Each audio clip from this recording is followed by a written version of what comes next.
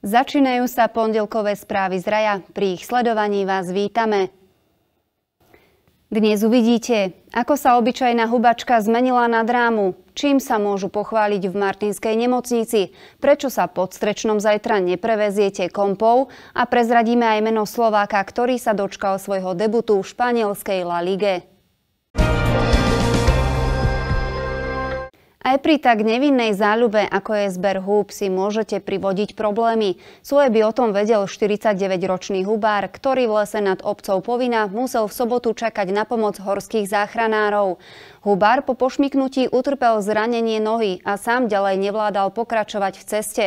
Na pomoc mu tak prišli záchranári z Kisúckých Beskýt. Po ošetrení a zafixovaní nohy ho následne preniesli k terénnemu autu, ktoré ho odviezlo do nemocnice v Čaci. Univerzitná nemocnica v Martine je v súčasnosti jedinou na Slovensku, ktorá umožňuje ženám s vrastenou placentou do maternice poskytnúť liečbu, ktorá ich uchráni pred odstránením maternice a ponecháva im tak možnosť v budúcnosti opäť otehotnieť. Nedávno sa v nemocnici uskutočnila druhá takáto operácia, pri ktorej pacientka porodila zdravé dievčatko Karolínku a neprišla o maternicu. V jej prípade šlo o patologické spojenie medzi placentou a maternicou. Takéto stavy sa počas pôrodu častokrát končili odstránením maternice, nakoľko dochádzalo k tak masívnemu krvácaniu, že život pacientky bol v ohrození. Vďaka unikátnej metóde a spolupráci dvoch kliník Univerzitnej nemocnice Martin sa podarilo pacientke maternicu zachrániť. V podmienkach slovenského zdravotníctva sa jedná o veľmi špecifický zákrok, ktorý sa u nás bežne nevykonáva. Lekári ginekologicko-pôrodníckej kliniky Univerzitnej nemocnice mali pacientku pod dohľadom od 27. týždňa tehotenstva, odkedy jej bolo vrastenie placenty do maternice diagnostikované. V 32. týždni pacientku prijali na kliniku a snažili sa udržať tehotnosť až do štádia, kedy bude mať dieťatko najlepšie podmienky na poznatálny vývin. Podarilo sa im to do 36. týždňa. Následne naplánovali cisársky rez. Predtým sa s pomocou kolegov z radiologickej kliniky pripravili na výkon, ktorý mal zachrániť maternicu počas operácie.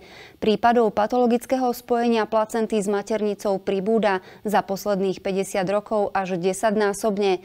Kým v minulosti bolo toto číslo menšie, v súčasnosti predstavuje jeden pôrod z 500 až 550. Viac informácií o unikátnej operácii nájdete na našom Facebooku. Chystá sa odstavka, kompa nebude premávať. Na svojom Facebooku to oznámila prevádzka kompy pod Strečnom.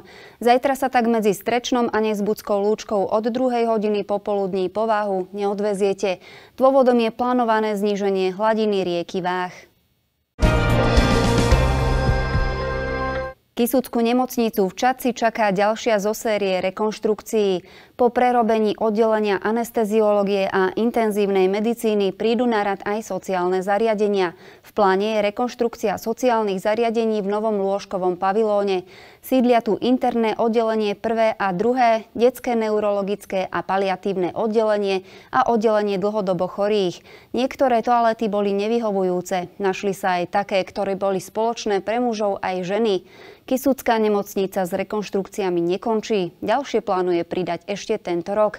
Informáciu priniesol web Miky Suce.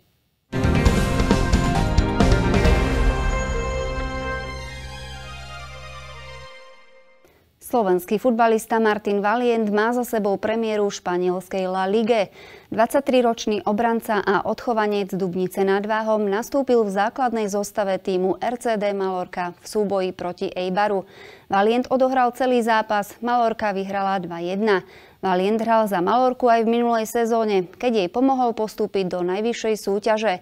Vtedy tu bol ešte na hostovaní, teraz je v Španielsku na trvalý prestup. Po športe sa pozrieme na predpoveď počasia. Útorok bude jasný až polooblačný. Oblačnosť bude pribúdať najmä popoludní. Na niektorých miestach sa môžu objaviť prehánky alebo búrky. Nezabúdajte na pitný režim.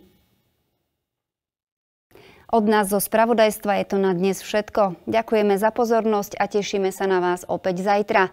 O 16.30 sa vidíme na Facebooku a o 18.45 v televízii RAJ. Pekný večer a dovidenia.